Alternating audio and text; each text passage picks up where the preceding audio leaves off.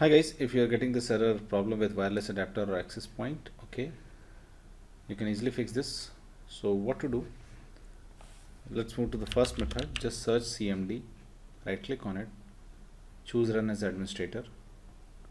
Now once this opens up you have to run these command one by one and your problem will get fixed okay? I have pasted all these commands in the description video.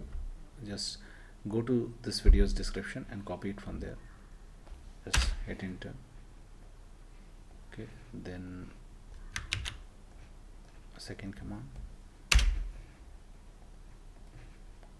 Then third okay. Plus okay and now try again and your problem will get fixed. If it does not fixes your problem you can do one more thing. Just search device manager in the Windows 10 search box. And now click on device manager to open it. Now once this device manager opens up just expand network adapters. Now first locate your Wi-Fi adapter. To know that which is your Wi-Fi adapter just right click on the start button. Click on run. Type ncpa.cpl now click on ok. Now once you reach here you can see this. When you hover the mouse it says realtek PCI adapter okay so this is your Wi-Fi adapter. Just right click on it. Click on update driver okay and now click on browse my computer for driver software. Now click on let me pick. And now just choose from uh, the list okay?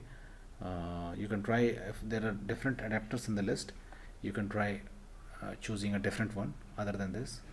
And now click on next and let it get installed.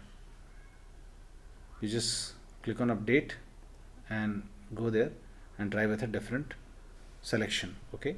And let's see if your problem gets solved or not. If it does not get solved just click on it just click on update and click on search automatically okay? And let it update the driver online okay? This also fixes the problem in most of the cases. So that's it guys. Please do like the video to support us and thanks for watching the geek page